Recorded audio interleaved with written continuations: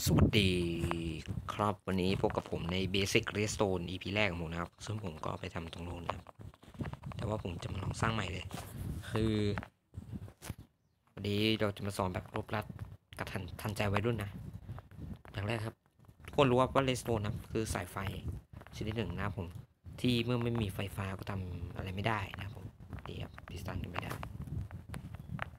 แต่เมื่อเราให้ไฟฟ้ามาอย่างเช่น Redstone Redstone Torch ก็จะมีไฟฟ้าให้ใช่ไหมครับซึ่งเราสามารถต่อพิสตันได้ไม่ใช่ทางนี้ทางนี้นี่ต่อพิสตันได้ซึ่งนี่ก็เป็นเรื่องเบสิกโง่ๆที่ใครๆก็รู้กันนะครับผมแต่ว่าเราจะมาสอนแบบเบสิกนั่นแหละแต่นี้เบสิกเกินไปดูวิธีการทำงานของ Redstone นะครับผมอย่างแรกเลยคือ มันต้องการพลังงานจากอะไรก็ได้ มื่อมันได้รับพลังงานแล้ว มันจะส่งต่อพลังงานไปตามสายไปเรื่อยๆเรื่อยๆเรื่อยๆเรื่อยๆแต่บางคนเนี่ยยังไม่รู้นะผมนี่คือสิ่งที่มันทำได้อีกอย่างก็คือ มันสามารถส่งต่อพลังงานให้กับบล็อกอะไรก็ได้แล้วผม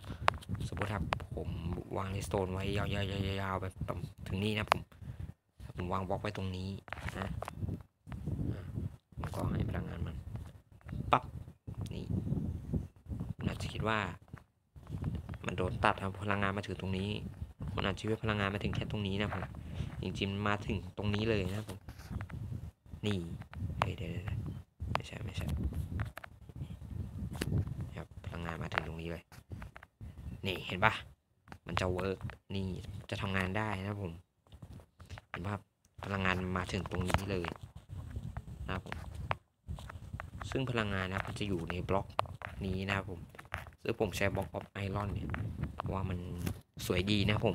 แต่จริง ๆ แล้วนะผมไม่ใช่ว่าบล็อกไหนมันก็สามารถนำไฟได้ในเกมนี้เดี๋ยวผมเอาบล็อกดินให้ดูเลยดินนี่ไงเออเราเอาดินแบบเบสิกไงเดี๋ยวแบบบล็อกหญ้าแม่งนำไฟฟ้าเดี๋ยวมีคนมาบอก ก็หญ้ามันนำไฟฟ้าโอ้โหเยี่ยมนี่มันก็ทำงาน เป็นบล็อกก็พอ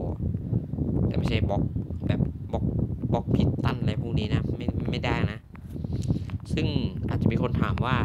ถ้ามันส่งไฟฟ้าถึงบล็อกนี้แล้ว แล้วเราสามารถตอบออกไปได้ไหมบอกเลยว่าไม่ได้ มันจะตัดไฟฟ้าออกทันทีนะครับผม ซึ่งถ้าเราอยากให้มันไปต่อเนี่ย เราต้องวาง repeater นี่นี่มันจะรับไฟมาใช่ไหมแล้วมันก็จะปล่อยไฟต่อได้เลย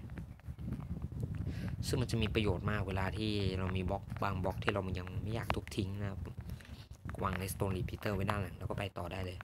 แบบขี้เกียจขุดอะของที่ขุดมันพังอะอะไรประมาณนี้นะครับผม แล้วก็เดี๋ยว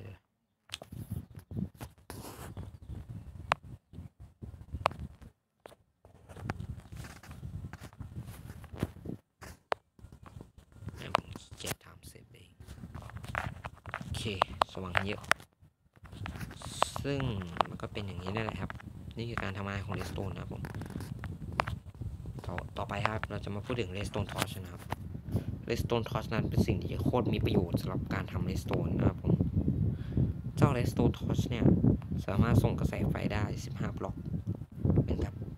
Redstone ทั่วไปเลยนะครับผมแต่ว่ามันจะให้พลังงานได้ไม่มีวันหมดนะครับ เราก็ไม่ต้องมาเปิดเองด้วยนะครับผมรีเวอร์นะครับ อย่างรีเวอร์เนี่ยเราก็ต้องกดใช่ไหมครับผมแล้วก็ plate หรือที่เหยียบเนี่ยเราเราเราก็ต้องเหยียบให้แม่เพื่อจะให้พลังงาน แต่ว่าถ้าเราให้อันนี้นะครับผมถ้าเราเอา redstone ไปครับกับแท่งไม้เหมือนทำ torch เนี่ยจะได้ redstone torch มาซึ่งจะให้พลังงานได้ไม่จำกัดและจะไม่มีวันดับนะครับผมแต่เราสามารถทำให้มันดับได้นะครับผมด้วยการ เลสโตนมานะครับต่อเลสโตน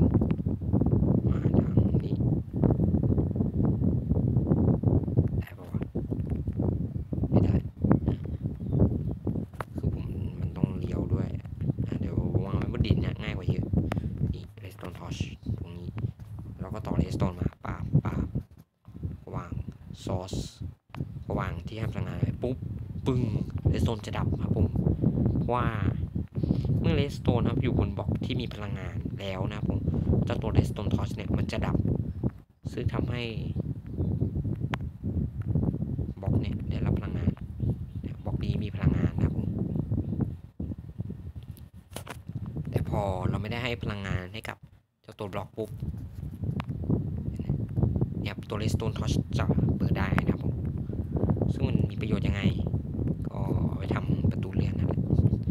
ริงๆก็ไปทำหลายอย่างนะเยอะแยะเลยนะผมทำได้เยอะนะแล้วแต่ความจินตนาการของคุณนะครับผมอย่างผมจะทำ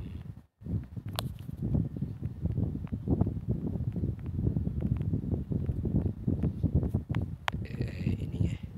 ตัวเรื่องอะไรวะ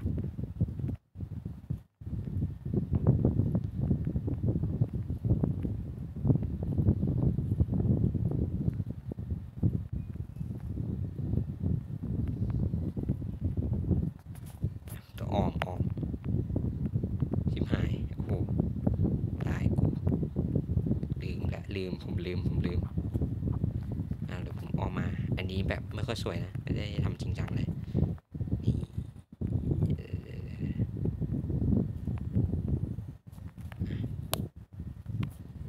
ตรงนี้เอ่อจะอย่างนี้อะก็อย่างนี้แล้วก็อย่างนี้นี่ครับมันก็จะเวิร์กนะแบบนี้ ซึ่งถ้าหากผม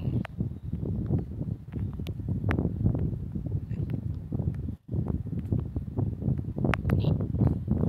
ก็ไว้ทำพวก ประตูเลื่อนหรืออะไรพวกนี้นะพวกนี้เห็นปะ